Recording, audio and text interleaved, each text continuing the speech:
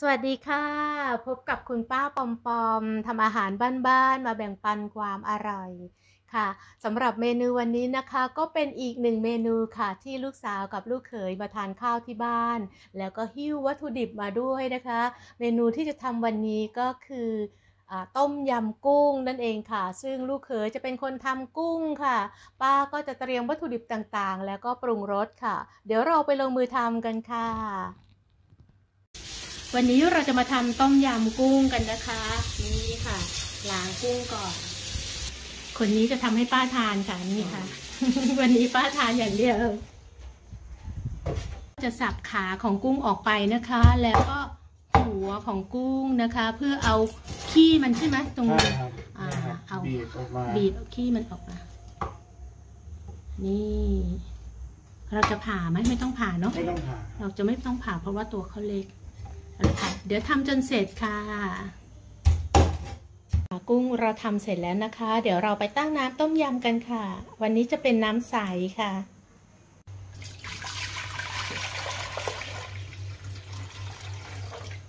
เครื่องต้มยำค่ะ ข่าตะไคร้ใบมะกรูดนะคะ แล้วก็หอมแดงบุกนิดหน่อยค่ะ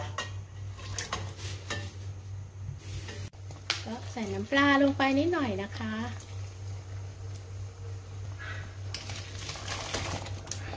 ตามด้วยกุ้งค่ะ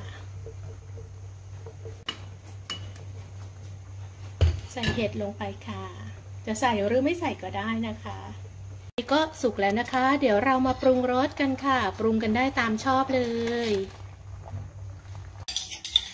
ปรุงกันตามชอบได้เลยนะคะนี่เขาทานกันไม่เผ็ดนะคะน้ำมะนาวค่ะ ผักชีฝรั่งผักชีไทยค่ะ ง่ายๆ แค่นี้เองนะคะ ก็พร้อมเสิร์ฟแล้วล่ะค่ะ วันนี้เราเสิร์ฟกันในหม้อใหญ่แบบนี้เลยนะคะ เพราะว่าเราทานกันเยอะค่ะ เดี๋ยวลูกเขยเขาทำให้ค่ะกุ้งน้ำใสก็พร้อมเสิร์ฟทั้งหม้ออย่างนี้เลยค่ะลองทำรับทานกันนะคะสำหรับสูตรนี้ป้าบอกสูตรไว้ใต้คลิปนะคะ และพบกันใหม่เมนูหน้า ขอบคุณทุกท่านที่ติดตามรับชมค่ะ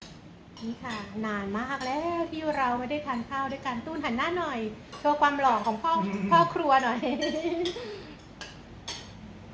ลูกสาวทานอย่างเลยฝีมือปั้นทำอยู่อย่างเดียวเป็นอยู่อย่างเดียวก็คือ นี่แหละค่ะ ปั้นทอดมันกุ้ง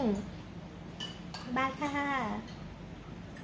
วันนี้ทานข้าวพร้อมหน้าพร้อมตากันค่ะ มีปูนะคะ แล้วก็ได้พร้อมปากด้วยพร้อมปาดด้วยเหรอแล้วก็มี อันนี้อะไรปลาหมึกผัดอันนี้ปากไข่เค็มเต่าเต้ยทอดน้ำปลานะคะ แล้วก็ที่เด็ดที่สุดก็คือทอดมันกุ้งนี่แหละค่ะโอ้ยังมีต้มยำกุ้งอีกค่ะ เมนูต่างๆเหล่านี้นะคะ ติดตามได้นะคะในช่องของครัวมนุษย์ป้าบายคุณป้าปอมๆนะคะ ซึ่งจะลงอ่าตามมาเร็วๆนี้นะคะ ขอบคุณทุกท่านที่ติดตามรับชมค่ะ สวัสดีค่ะ